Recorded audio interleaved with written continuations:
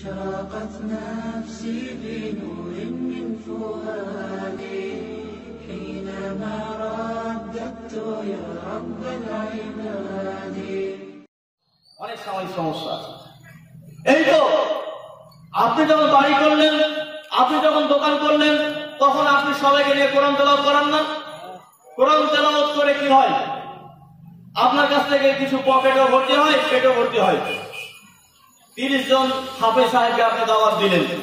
এক পাড়া করে একসাথে পড়লে কি হবে? এক ঘণ্টার মধ্যে পুরো কোরআন শেষ। জেনে রাখবেন, এটা মানুষকে ধোকা দেওয়া এবং মানুষকে আল্লাহর পথ থেকে বিরত রাখা তার ফতোয়া রয়েছে তাদের কাছে। দলিল? দলিল হলো, প্রথম কথা যেটা হচ্ছে, আল্লাহ সুবহানাহু ওয়া তাআলা পবিত্র কোরআনে সূরা আরাফ সূরা নম্বর 7 আয়াত নম্বর 204 মধ্যে বলছেন, যখন কোরআন তেলাওয়াত করা হয়, তখন তোমরা চুপ করে শ্রবণ করবে। যাতে তোমাদের উপর রহম করা হয়। কোরআন তেলাওয়াত করলে কি করতে হবে? চুপ করে থাকতে হবে। এই জন্যই তো আমরা বলি না যে ইমাম সাহেব যখন কেরাত করবে, তখন আমাদেরকে চুপ থাকতে হবে। তো হুজুর সাহেব, ইমাম সাহেব কিরাত করে তখন চুপ থাকবে, ঠিক আছে। কিন্তু ওখানে কি হলো? ওখানে পেট গরমের ব্যাপার আছে না? পকেট গরমের ব্যাপার আছে না? এই জন্য তিরিশ জন একসাথে কোরআন তেলাওয়াত করা হয় এক কদম হলেই তো পকেট গরম হবে আর পেট গরম হবে।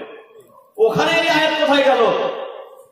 সুতরাং বোঝা গেল কি মানুষকে আল্লাহর পথ থেকে বিরত রাখা হচ্ছে। এই তো মারা গেছে, আমার বাড়িতে লোক মারা গেছে। এবার তো পেট গরমের একটা রাস্তা চলে আসলো, পকেট গরমের রাস্তা চলে আসলো। এক খতম দিলে পনেরো জন মিলে, তিরিশ জন মিলে এক খতম দিলে তো হলো। সেখানে আইনের বিরুদ্ধে যায় না। শুধু যায় ইমামের পিছনে, অথচ ইমামের পিছনে যদি ধরে না হয়, তাহলে জোরে যেসব নামাজে কিরাত আছে সেই জায়গাতে। যেমন মাগরিব দুই রেখাতে এসা দুই রেখাতে ফজরে দুই রেখাতে জুমান দুই রেখাতে, সেই সব রেখাতে, তর্কে খাতে ধরে নেওয়া যায় এই আয়তের ভিত্তিতে। কিন্তু তারপরেও তো আমরা এই আয়তের উপর আমল করি না, যদি আমরা এই বাইরে বুঝে থাকি তো আসলে বুঝতো ভুল। তারপরে আমি আমল করছি না কীভাবে? ওই তো, আমরা যখন ফজরের সলাত আদায় করতে যাই, ফজরের সলাত আদায় করতে গিয়ে দেখি ইমাম সাহেব জামা শুরু করে নিয়েছেন সুরা ফাতিহা পড়ছেন। পরে থেকে আমরা কি করি? পরে থেকে তাই ইমাম সাহেবের পিছন দিকে আমরা কি করি? সুন্নাত নামাজটা পড়তে শুরু করি দুই রেখা ওর সঙ্গে জামাত ধরি না। দুই রেখা সুন্নাত পড়তে শুরু করি। সুন্নাত যে আমরা আদায় করতে শুরু করলাম, তো আমরা ভাই বিরাট করি কি করি না? আমাদের সমাজে যেটা প্রচলিত আছে, সামাজিক সংস্থার কথা বলছি আপনাদেরকে।